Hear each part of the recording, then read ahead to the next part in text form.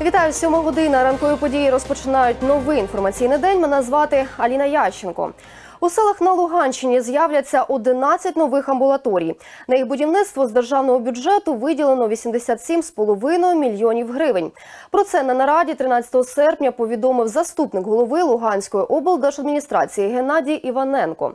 Також він зазначив, що наразі розробляється проєктно-кошторисна документація, після чого буде проведено її експертизу та оголошено тендерні торги на визначення підрядників.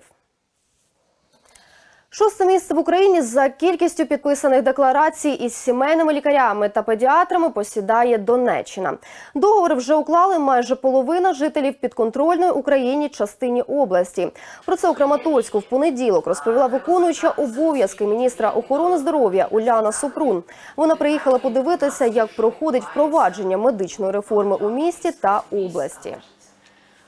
Дев'ять е, центрів первинної допомоги вже підписали договори із Національною службою здоров'я, і вони отримують кошти по новому фінансуванню. Більшістю з них е, отримали півтора або в два рази більше фінансування в місяці липні через нове фінансування. Е, Є один приклад: це місто Селідове, центр первинної допомоги.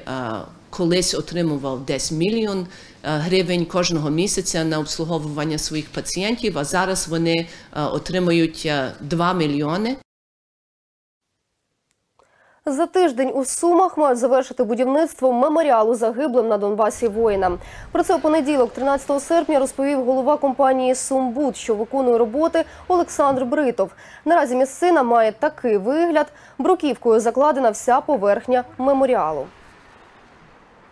Бетон е, ще схватується і десь в течение 30 днів він набере свою і міцність і цвіт. Який це буде, ми поки що не знаємо. Е, Тобто десь до Дня Незалежності. Ми залишимо, я думаю, так, в такому вигляді, а після Дня Незалежності вже ну, така авторитетна комісія вирішить про те, що треба красити чи залишати так. Будівництво алеї героїв на центральному кладовищі у Сумах розпочали у серпні 2017-го. Зводять його на гроші адресної матеріальної допомоги сім'ям загиблих. Кошторис усіх робіт понад 5 мільйонів гривень. І до погоди синоптики Донбасу на території Донеччини прогнозують мінливу хмарність без опадів. Температура повітря прогріється до 30 градусів тепла.